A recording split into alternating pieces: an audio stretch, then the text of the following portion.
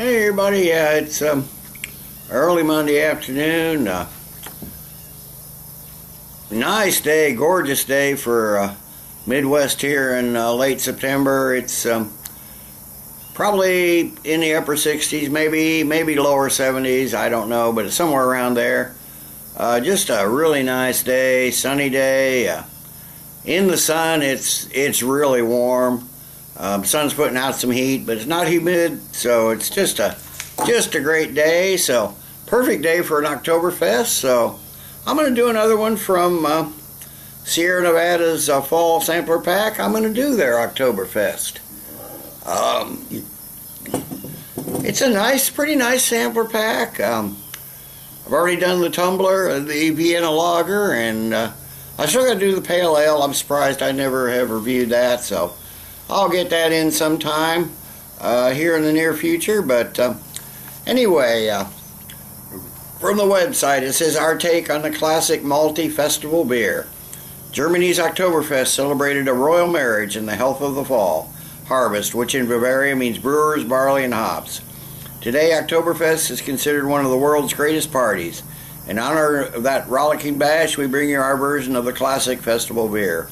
Oktoberfest is a Medium is medium bodied and rich with bready and toffee like malt flavor but maintains a crisp finish marked by floral and spicy hops. Um, it's 6.2% ABV, uh, 34 IBUs. Um, I have had a couple of these and because uh, there's uh, three of each and uh, each of the four in the sampler pack so let me get it in the glass and see what we have. A little bit of hiss, no, no real smoke.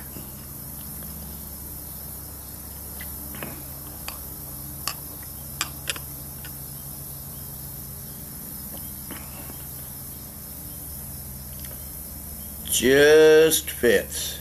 Just fits in the glass. We got a nice, um, it's almost ruby colored uh, body. Got a, oh, finger and a half of a, like a creamy, uh, creamy tan head, uh, almost khaki colored maybe, but just a really nice Oktoberfest beer. Under, un, unlike that uh, Weihenstephaner I did, uh, I last did. Uh, that one I, I'm not sure what that one is, but this looks more like the uh, traditional uh, Oktoberfest that um, you're used to. So let's get a nose on it.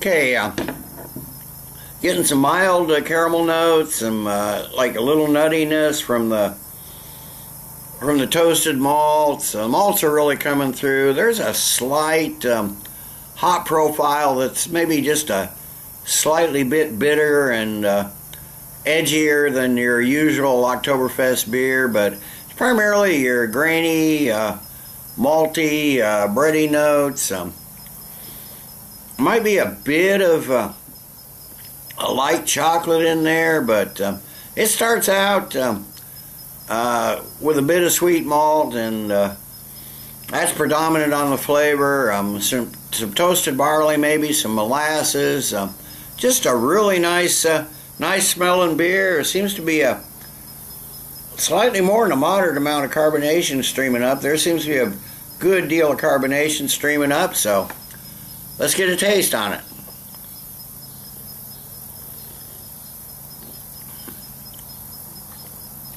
Okay, uh, you're getting that um, sugary uh, caramel note, uh, just a slight uh, nuttiness to it. Um, again, those herbal hops. Uh, you're definitely not getting any of those um, West Coast um, citrus hops. It's herbal and uh, floral and grassy hops. It that you uh, that you expect in, a, in an Oktoberfest beer. Um, just a slight bitterness on the finish, but um, the malt, yeah, it gives you the caramel and toffee flavor. There's a just before the finish, there's almost a slight uh, buttery taste, uh, and then it, you get kind of a moderately uh, bitter finish, a fairly clean uh, finish. But primarily, uh, your toast, toasted malts, your nuttiness, and uh, maybe some, like I said, earthy, uh, leafy, floral hops. Um, medium-bodied mouthfeel, uh, pretty smooth uh, drinking. Um, the carbonation, uh, despite what see, it's the bubbles are rising slow, but um, seems pretty uh, easy-going carbonation. So let me sit, and I will sit and sip on this a while, and I'll come back in a while with the final thoughts and grade. Okay, I'm back. It's uh, it hasn't been that long. Uh, no sooner than I finished, and uh, here come the mowers. Uh, they're fortunately they're mowing across the across the road by, right now, but it it won't be long before they get here. But um, yeah, this is a, so it hadn't warmed up a ton. Um, not a lot has changed, but uh, this is a really nice. You know, overall, it's pretty nice, clean, uh, tasty uh, uh, example of the style.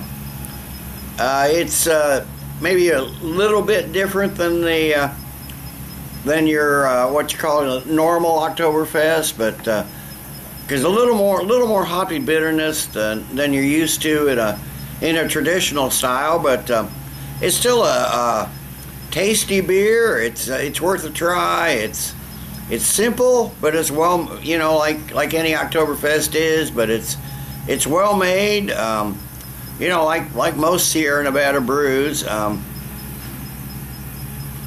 I think I enjoy some of the regular beers a little bit more, but it's a nice change of pace for for the fall. Um, uh, it's still, you know, it's safe, but it's still got uh, a little more flavor and body to it than uh, than many others. So I'm going to give the Sierra Nevada Oktoberfest available now in their uh, their fall sampler pack.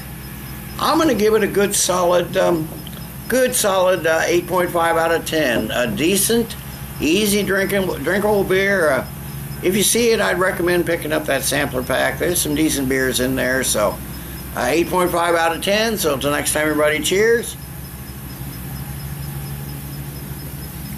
Let's keep drinking good beers.